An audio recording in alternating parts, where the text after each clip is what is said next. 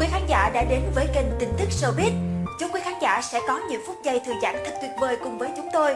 Và đừng quên nhấn vào nút đăng ký bên dưới và chuông thông báo để được nhận những tin tức mới nhất mỗi ngày nhé. Và bây giờ, xin mời quý khán giả sẽ đến với những tin tức showbiz nổi bật nhất trong ngày. Lê Giang nhắn nhủ ẩn ý đến con trai Duy Phước giữa sóng gió gia đình. Ồn mèo của gia đình nghệ sĩ Di Phương thời gian qua khiến khán giả cảm thấy tò mò. Nam nghệ sĩ tố con cái vô tình, không chăm lo cho mình. Di Phương cảm thấy buồn vì bị chính gia đình của mình loại bỏ. Sau những dòng trạng thái gây ồn ào, Duy Phước đã có lời xin lỗi đến ba mình.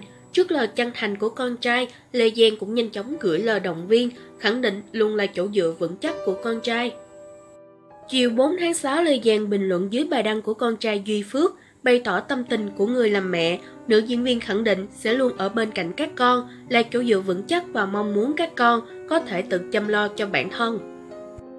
Con ơi, cố gắng lên, mẹ sống vì các con, mẹ là mẹ, mẹ phải là chỗ dựa vững chắc. Con nuôi bản thân con mạnh khỏe, hạnh phúc là mẹ vui rồi.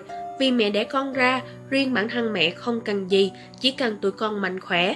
Nếu ai có nghĩ gì thì con vẫn là con của mẹ, và mẹ rất hãnh diện vì con. Con tự lo cho gia đình nhỏ hiện tại của con là mẹ vui lắm.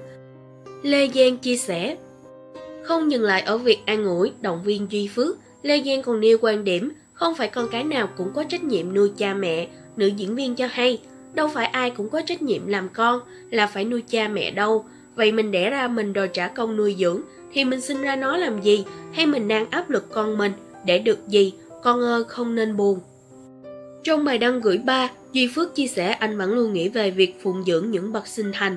Tuy nhiên, chỉ vì anh không công khai hình ảnh chuyển tiền hay khi đưa tặng tay nên bị khán giả hiểu lầm và quay lưng, anh cũng cảm thấy đau lòng vì những ồn ào gia đình đẩy anh vào đường cùng.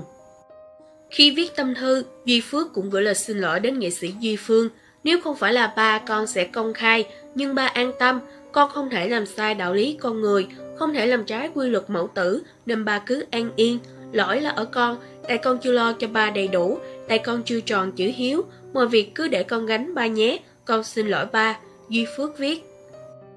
Mối quan hệ giữa các thành viên trong gia đình nghệ sĩ lê giang luôn khiến cư dân mạng tò mò. Tuy nhiên những người yêu mến nữ diễn viên duy phước và nghệ sĩ duy phương đều không muốn hình tượng của họ bị ảnh hưởng bởi ồn ào này.